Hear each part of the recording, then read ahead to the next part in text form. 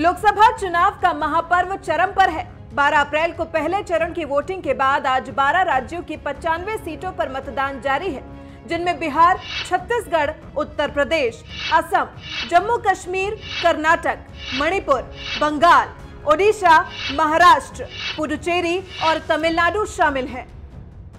दूसरे चरण में सत्तानवे सीटों पर मतदान होना था, लेकिन तमिलनाडु की वेलोर लोकसभा सीट पर एक द्रमुक उम्मीदवार के कार्यालय से भारी मात्रा में नकदी बरामद होने की वजह से चुनाव रद्द कर दिए गए। वहीं त्रिपुरा पूर्व लोकसभा क्षेत्र में खराब कानून व्यवस्था होने की वजह से निर्वाचन आयोग ने आज होने वाले मतदान को 23 अप्रैल को करवाने का फैसला लिया है। अब जिन पचानवे सीटों पर मतदान जारी है उनमें बहुत से दिग्गजों की साख दांव पर लगी है। जिनमें सबसे पहले बात करते हैं मथुरा से बीजेपी सांसद हेमा मालिनी की। हेमा मालिनी के सामने आरएलडी के नरेंद्र सिंह तोमर ताल ठोक रहे हैं, जो हेमा मालिनी को कड़ी टक्कर देना चाहते हैं। हालाँकि पिछले 2014 के लोकसभा चुनाव में भी हेमा मालिनी को ही इस सीट से जीत हासिल हुई थी। फिर बात करते हैं आगरा सीट की, जहाँ बीजेपी ने प्रत्याशी के तौर पर एसपी सिंह बघेल को टिकट दिया है।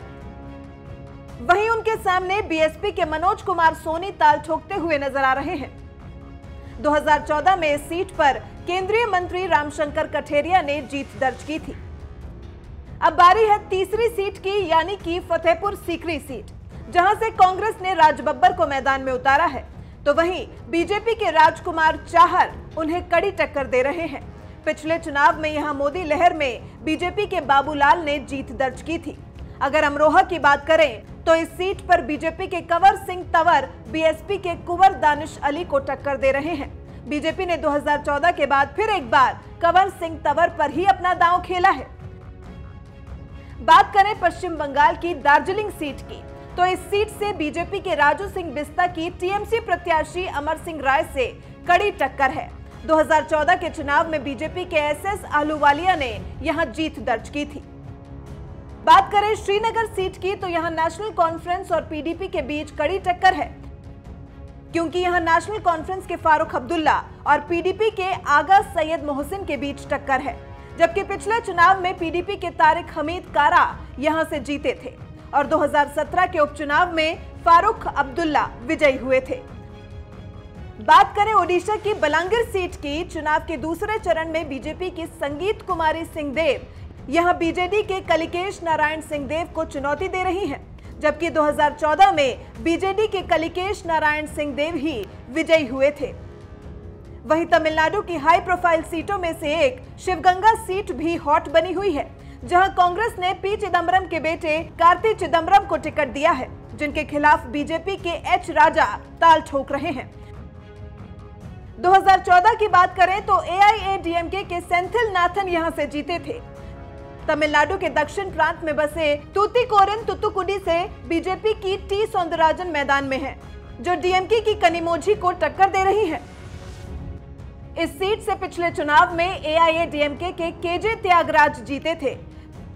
तमिलनाडु की नीलगिरी सीट भी हॉट बनी हुई है, जहाँ डीएमके के ए राजा को एआईएडीएमके के एम त्यागराजन टक्कर दे रहे हैं। जबकि इस सीट पर पिछले चुनाव में एआईएडीएमके के सी गोपाल कृष्णन जीते थे। कन्याकुमारी सीट से बीजेपी के पी राधाकृष्णन मैदान में है और उनको टक्कर दे रहे हैं कांग्रेस के एच वसंत कुमार। हालाँकि 2014 में यह सीट बीजेपी के ही पाले में थी और पी राधाकृष्णन ही यहाँ से सांसद के तौर पर चुने गए थे। बेंगलुरु दक्षिण से तो बीजेपी के सबसे युवा प्रत्याशी तेजस्वी सूर्या अपनी किस्मत आजमा रहे हैं और ताल ठोक रहे हैं कांग्रेस के बीके हरिप्रसाद के खिलाफ। बीजेपी को इस सीट से बहुत सी उम्मीदें हैं, इसलिए ये सीट भी हॉट बनी हुई है। पिछले चुनाव में इस सीट से बीजेपी के अनंत कुमार विजयी हुए थे। वहीं कर्नाटक की तुमकुर सीट से बीजेपी के जीएस बासवराव, जेडीएस के एचडी देवगौड़ा को टक्कर दे रहे हैं, जबकि पिछले चुनाव में ये सीट कांग्रेस के पास थी। और मुद्दा हनुमेगौड़ा को यहाँ से जीत हासिल हुई थी। बिहार की कटिहार सीट से कांग्रेस प्रत्याशी तारिक अनवर मैदान में है। तो उनका मुकाबला एनडीए प्रत्याशी दुलाल चंद्र गोस्वामी से है।